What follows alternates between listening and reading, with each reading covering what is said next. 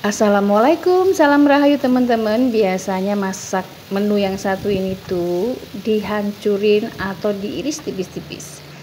Ternyata diolah dengan cara begini tuh enak, nagih, kenyil-kenyil Nggak ada yang sangka kalau ini itu adalah tiga papan oncom yang dipotong tipis-tipis memanjang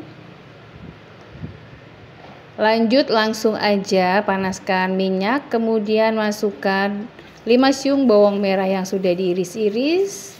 Bawang merahnya ditumis sampai wangi, sampai berubah warna, baru dimasukkan irisan 15 buah cabai dan 2 buah tomat.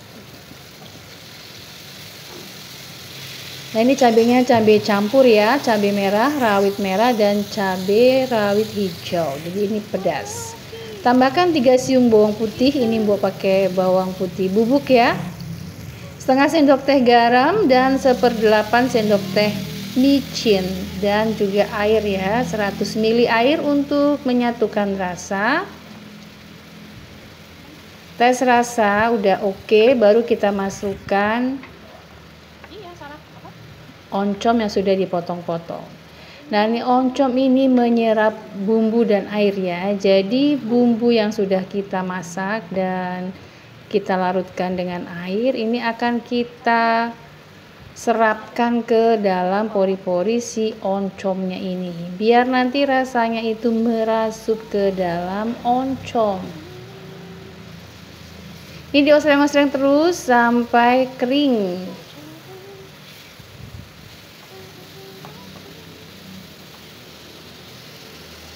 Aromanya wangi. Nah ini dia cepet banget nyerap airnya ya kalau oncom tuh. Beda sama tahu yang menolak air ya kalau oncom itu menyerap cepat ya. Ini saya mau osreng terus sampai garing sampai kering maksudnya agar nanti hasil akhirnya oncomnya itu tidak lembek tapi kenyal legit. Nah ini tes rasa dulu ya. Enak banget. Nah yang suka oncom ini pasti kebayang deh. Pedes gurih. Oncom. Ini kita aduk dulu sebentar. Biar ada manis-manisnya buat tambahkan satu sendok makan kecap manis dan seperempat sendok teh lada bubuk masuk biar rasanya lebih nendang. Diaduk-aduk. Nah ini kecap manisnya tidak wajib ya. Boleh di skip kalau tidak suka. Udah enak ya.